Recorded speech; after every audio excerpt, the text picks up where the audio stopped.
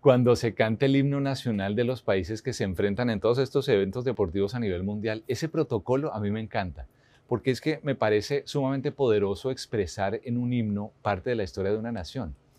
El himno del país, yo creo que es una de las primeras cosas que uno aprende desde pequeñito en el colegio. No sé si sea tu caso, pero en los colegios que yo estuve, fueron un par, siempre se cantaba el himno en las ceremonias especiales, en algunos era todos los días. Es que un himno se conecta a la vida de un pueblo, acentúa ese ánimo patriótico. El himno es como una especie de credo que de alguna forma fortalece el alma de un pueblo, lo hace sentir orgulloso de su pasado, de su presente. Ponte a pensar en esto. Estás en cualquier lugar del mundo, lejos de tu hogar, de tu familia, de tus amigos, rodeado de desconocidos, y de repente oyes el himno de tu país.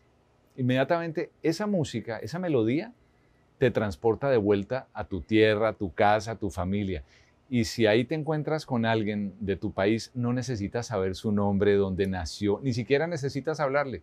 Ya sabes que de alguna forma son familia. Ese es el poder de la música.